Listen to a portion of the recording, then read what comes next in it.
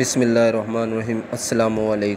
आज हमने पढ़ना है जी कंट्रोल सिस्टम कि जी होम्योस्टेसिस को कंट्रोल करने वाले सिस्टम कौन कौन से हैं?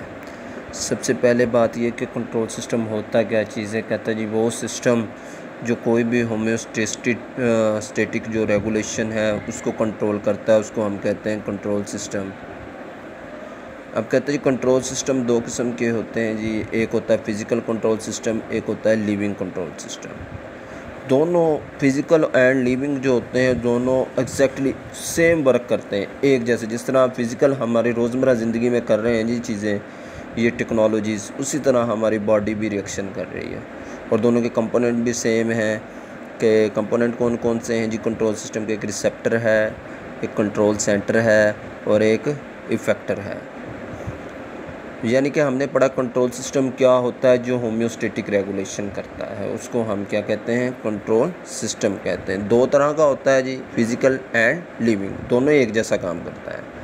कंपोनेंट भी तीन है जी, एक रिसेप्टर है कंट्रोल सेंटर है इफेक्टर दोनों के कंपोनेंट सेम होंगे। अब हम पढ़ते हैं physical control system physical control system क्या होता है?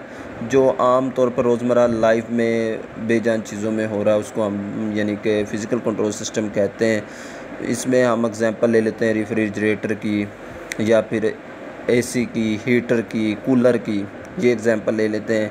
इसमें हम टम्परेचर रेगुलेशन करते हैं, यानी कि टम्परेचर को कंट्रोल सिस्टम चल रहा है जी ये।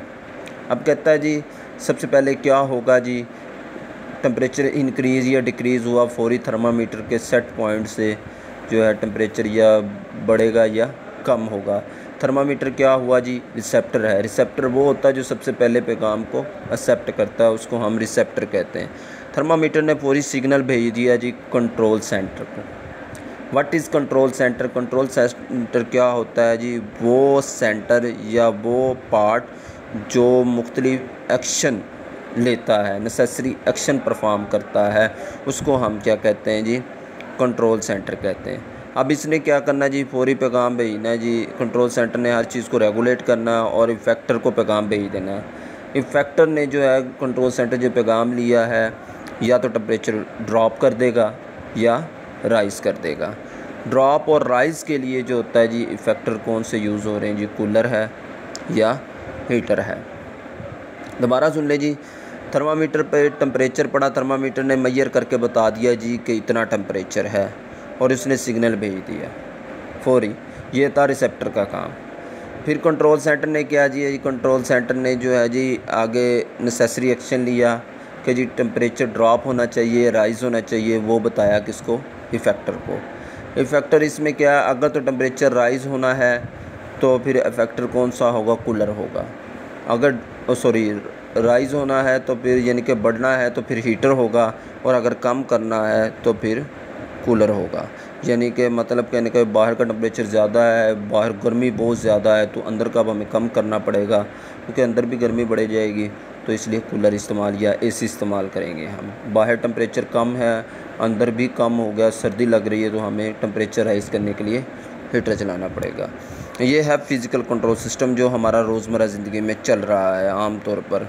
उसके बाद है लिविंग कंट्रोल सिस्टम जो हमारी लिविंग बॉडीज़ में, वो कंट्रोल सिस्टम जो लिविंग बॉडी में चल रहा है जी, उसको हम क्या कहते हैं लिविंग ऑर्गेनिज्म में चल रहा है, उसको हम कहते हैं लिविंग कंट्रोल सिस्टम ये एक मैंने सेल बनाया है साइड पे छोटा सा। इसमें सेल है जी, ये एक रिसेप्टर है, ये इफेक्टर है, ये कंट्रोल सेंटर है। यही तीन कंपोनेंट लिविंग में होते हैं। हम एग्जांपल पढ़ेंगे इसमें वार्म ब्लडेड की। वार्म ब्लडेड वो एनिमल्स होते हैं जो अपनी बॉडी का टेम्परेचर चेंज करते रहते हैं।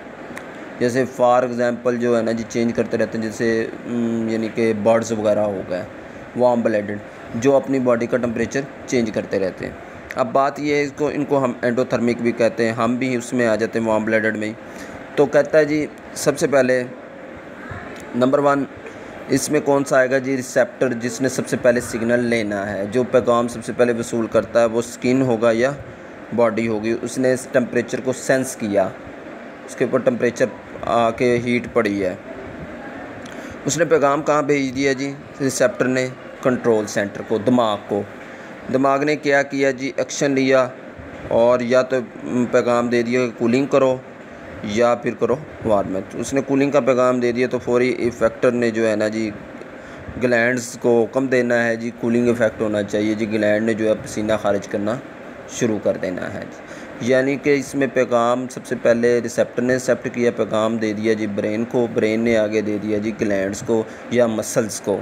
मसल्स को कह दिया कि जी एक्सरसाइज करो या जो भी करो। तो ये सारे दोनों एक तरह ही काम करते हैं, बिल्कुल फ़िज़िकल और लिविंग कंट्रोल सिस्टम। अब कहता है जी, इसमें एक मेकनिज़म चलता है, फीडबैक मेकनिज़म। वो क्या होता है? कहता है जी, सबसे पहले रिसेप्टर ने पैगाम लेना, वो दे देना कंट्रोल सेंटर कंट्रोल सेंटर ने एक्शन लेना, वो दे देना इफ़ेक्टर को इफ़ेक्टर ने वो काम कर देना। ये प्रोसेस कहलाता है फीडबैक मेकनिज़म। और जब एक फॉर एग्ज़ाम्पल एक टेम्परेचर बढ़ गया है एक्सटर्नल इन्वायरमेंट में तो उसने कंट्रोल सेंटर को पैगाम दिया और फिर उसने कूलर चला दिया। कूलर से जो है ना जी इफ़ेक्ट जो टेम्परेचर लो हो गया, इस प्रोसेस को हम क्या कहते हैं? यानी कि नेगेटिव फ़ीड में फीडबैक नेगेटिव फीडबैक मैकेनिज़्म वो होता है जिसमें कोई काम मुकम्मल कर दिया जाता है। नेगेटिव फीडबैक मैकेनिज़्म कहलाता है। यानी कि फीडबैक मेकानिज़म भी वही चीज़ होती है। सेम होते हैं दोनों। तो ये ताजी कंट्रोल सिस्टम के दो होते हैं। फ़िज़िकल भी होता है और लिविंग भी होता है। ओके जी विश ऑल द बेस्ट अल्लाह हाफिज़